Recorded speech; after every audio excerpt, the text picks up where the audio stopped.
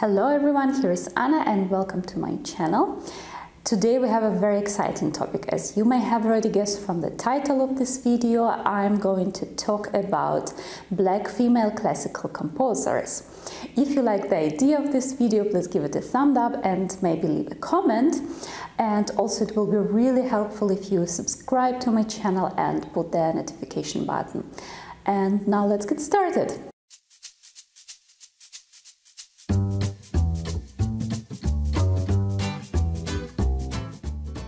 So, you know, starting from the first female composer we know, Hildegard, in the 12th century, up to the present day, women have made a significant contribution uh, to classical music, which has often been overlooked. Across Europe, 97.6% um, of classical music performed in the last three seasons was um, written by men, leaving a paltry 2.3% written by women. And um, you know, from this 2.3%, I think it would be quite shocking to realize which percentage was written by black women. And of course, it's not because they're not existing.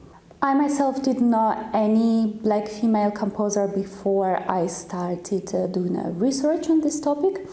Surprisingly for myself, I found ton of information um, about black female composers and I listened to lots and lots of beautiful music pieces and I'm happy to share some information with you and um, on the first place simply inspire you to do your own research, to listen to this music and to play it.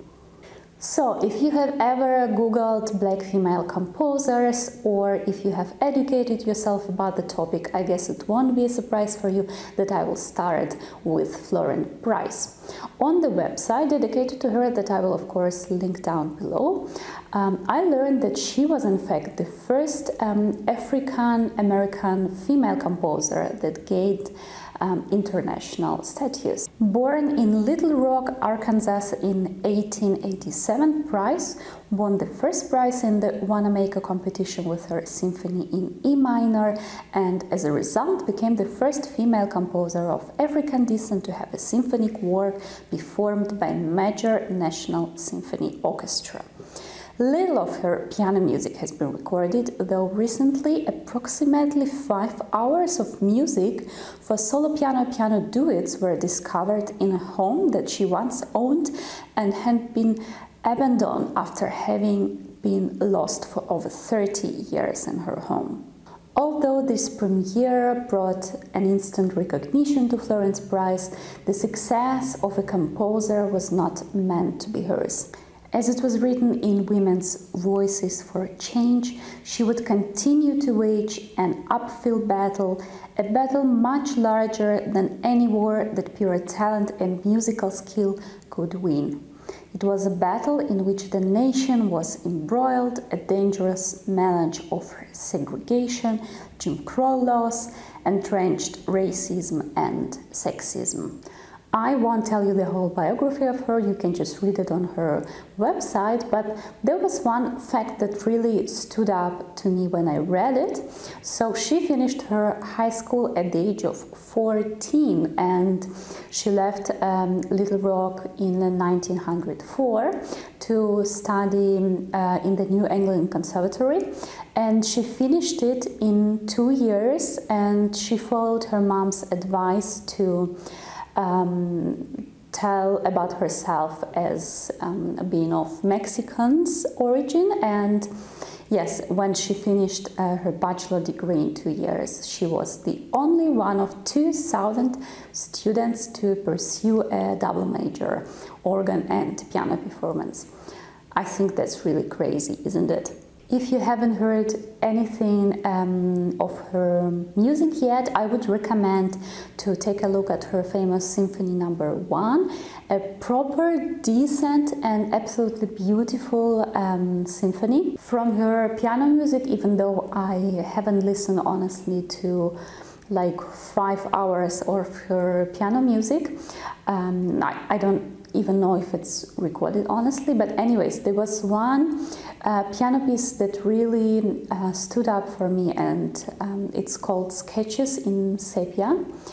I find her music really interesting. Like there is this kind of a special warm feeling that actually like hugs you when you listen to it. It's very interesting and I don't know what do you hear in this music, but I think I hear some kind of interesting mix of like African melodies and uh, harmonies and also some um, maybe American country music um, motifs. It's, it's really interesting for me.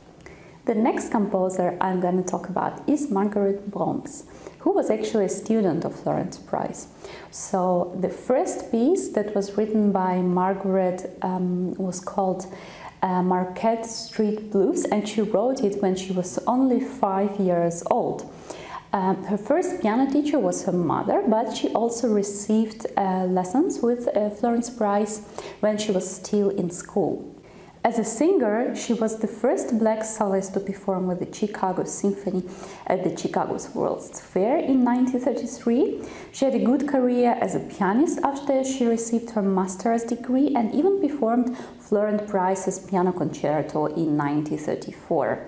During this time, she became such a good composer that when she showed Nadia Boulanger her piece The Negro Speaks of Rivers, she told her that she didn't need to study with her.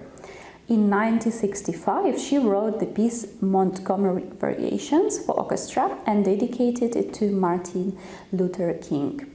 To honor her, the mayor of Chicago declared the 31st January 1967 to be Margaret Bond's Day. I really love a piece of Margaret that is called Troubled Water. Like it actually clicks with me somehow, and I hope to perform it in the future and to include to my concert programs. But for now, you can listen to a recording made by um, Samantha H. I hope I pronounce it correctly a pianist who actually, as I um, found out from her YouTube channel, brings a lot of recognition to black female composers, and I hope you will um, enjoy this piece. Definitely has a lot of like um, jazz rhythms and harmonies, and I also hear some African melodies, and yeah, it's just a really interesting. Uh, piece. Another composer that I would like to mention here is Julia Perry. She had um, quite a tragic story. She was born in the US but traveled across Europe studying with um, world renowned teacher and composer Nadia Boulanger in France.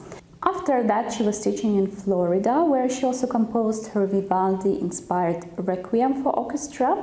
One of her most famous pieces is called Stabat Mater.